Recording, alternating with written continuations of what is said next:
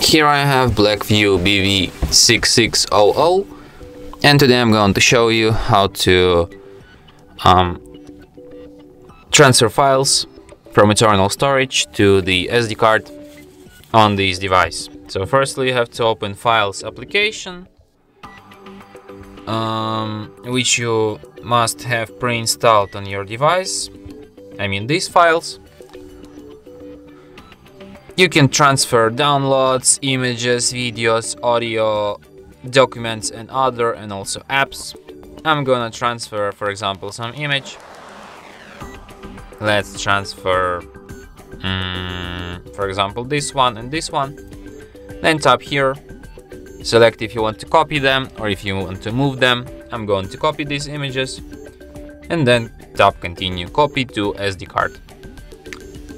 And now we can find these images not only on our internal storage but also on our SD card.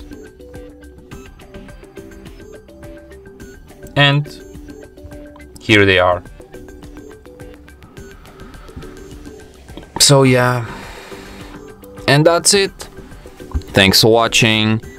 If you find this tutorial useful, don't forget to hit that like button and subscribe to our channel.